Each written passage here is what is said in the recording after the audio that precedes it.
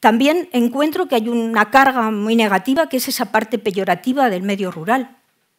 Es necesario cambiar ese sentimiento. No es un fracaso ir a Teruel. Yo estoy muy orgullosa, he desarrollado mi, vida profesional y familiar y personal con plenitud en una ciudad pequeña de donde yo no, había, no conocía siquiera cuando fui.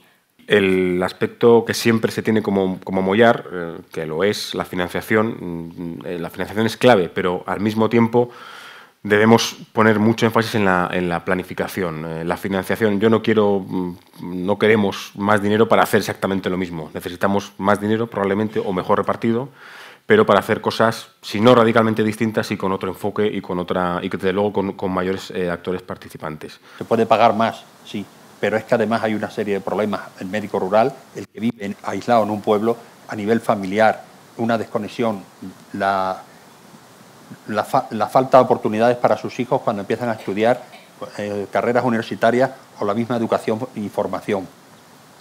Pero es muy importante facilitar la conciliación familiar, como he comentado, pero además también el desarrollo profesional. Eh, debemos de trabajar muy, muy, de modo muy potente con las condiciones laborales de los profesionales.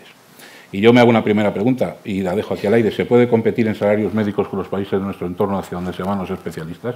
Creo que eh, eso es una pregunta bastante, bastante importante y que nos tiene que hacer reflexionar. Desde luego lo que sí que podemos hacer, y esto no se ha hecho con toda la diligencia posible, es decir, como estábamos acostumbrados a un mercado laboral en el que la Administración ponía sus condiciones, evidentemente pues eh, hemos tenido una contratación lamentable que ha hecho que muchas veces se hayan ido profesionales a otras comunidades o incluso a otros países.